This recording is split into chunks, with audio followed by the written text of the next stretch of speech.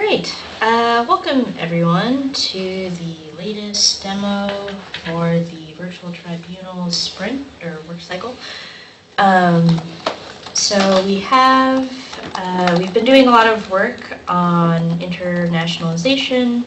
Um, so though that development work is currently happening upstream in Spotlight.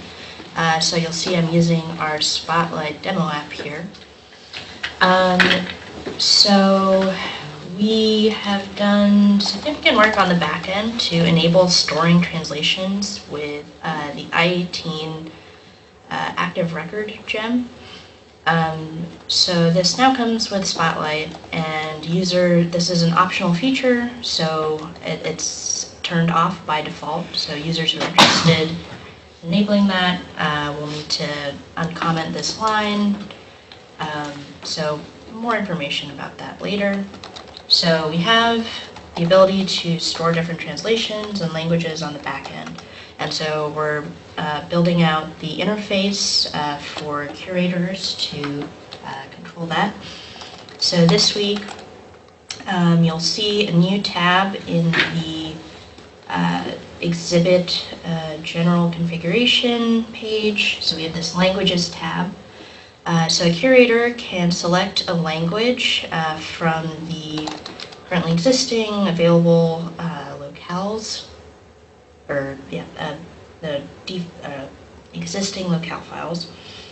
Uh, so in this example, I can choose French, add this language, and it will appear in our list of current languages. Um, so curator can choose to publish one of these languages and make different views available in that locale.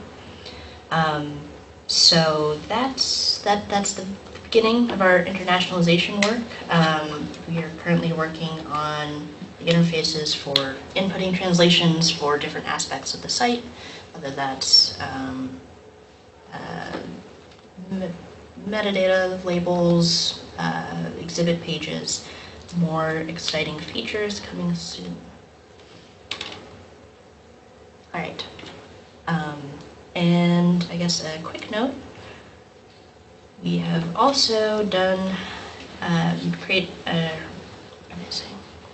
we have also done some work on the back end, changing our Solr configuration to universal highlighter. Um, We'll have more examples of those changes soon, uh, but it uh, does result in some significant changes in how phrase searching works across lines or paragraphs. Um, and I think that is it for this week's demo.